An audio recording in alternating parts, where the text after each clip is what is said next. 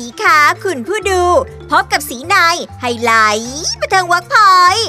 หน้าที่ดีไม่พูดถึงคงไม่ได้แล้วกระมัง กับรายการกระชากหน้ากากเหล่าซุปตาใน Mask Singer 12 เมื่อคืนนี้ต้องยกนิ้วป้องให้กับกรรมการ Dream Team ที่กระชากหน้ากากได้สำเร็จ วันนี้พี่สีจะพาไปบุกกองรายการ Mask Singer 12 พี่สีจะพาไปโยนไม้แฮ่ยื่นไม้ดีกว่าเนอะ พี่สีอยากรู้แล้วอะค่ะ อะไรยังไงอะนะไปพูดคุยกันเลย สวัสดีค่ะพี่นาย ครั้งแรกกับการเป็นหน้ากากเนี่ยมันเป็นยังไงบ้างอะคะคุณพี่เพราะฉะนั้นต่อไปก็ตกใจครับคิดว่าเขาพูดเล่นคิดว่าเขาให้มาเป็นคอมเมนต์หรือเปล่าอะไรอย่างเงี้ยแต่ว่าเขาบอกให้มาเป็นหน้ากากเลยก็ก็ตกใจอยู่ตกใจอยู่ภายใต้ความดีใจอยู่ พี่นายคิดไหมคะ ว่ากรรมการจะจับเสียงพี่นายได้ กลัวกรรมการจับได้ไหมก็คุยกับทีมงานอยู่ว่าเสียงผมถ้าพูดเนี่ยมันจำได้นะแล้วก็บางคนเนี่ยถ้าผมร้องเพลงเนี่ยเขาก็จำเสียงผมได้ ถามว่าเสียดายไหมสำหรับผมผมผมไม่ไม่ได้เสียดายก็ดีใจมากกว่าว่าสิ่งที่กลัวอีกเรื่องนึงก็คือผมคนไม่รู้จักผมว่าผมเป็นใคร แต่เปิดมาก็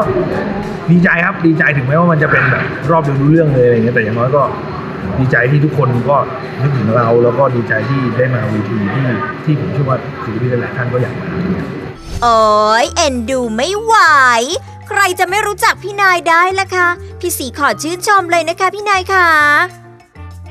ขอจกไม้ไปหาอีกหน้ากากสักหน่อย มันหลอกยากมากเลยใช่ไหมคะ พี่เอ๊ะเป็นยังไงบ้างคะกับการกลับมาครั้งนี้คิดถึงทุกคนคิดถึงกรรมการคิดถึงคุณกันกันตถาวรนะคิดถึงทีมงานทุกคนด้วย เรียกว่า Workpoint เป็น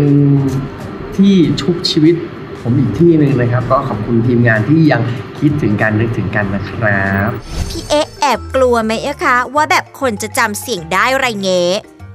ตอนรายการติดต่อไปรู้สึกรู้ตอนแรกรู้สึกนะพี่ผมไม่รู้จะร้องอะไรแล้ว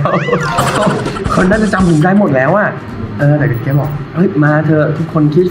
คิดถึงซีซั่นหนึ่งแล้วมันผ่านมาสองสามปีแล้วเนาะที่รายการไม่ได้กลับมาเลยนะครับ แล้วจริงๆก็ผมอะจะมาบ่อยมา Project A มา The Mirror บ้างนะครับ แต่ก็หลังๆก็หายไปนานนะฮะยังไงก็กลับมาให้ทุกคนหายคิดถึงกับ The Mask Singer ซีซั่นแรกนะครับ แอบเสียดายไหมอะคะอดได้ไปต่อรอบต่อไปเลยอะ